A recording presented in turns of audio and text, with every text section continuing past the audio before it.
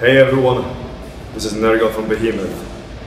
We are coming back to England this December with our friends Grand Magus and Decapitated. Check out the website that you see on the screen now. Get your tickets there and see you soon.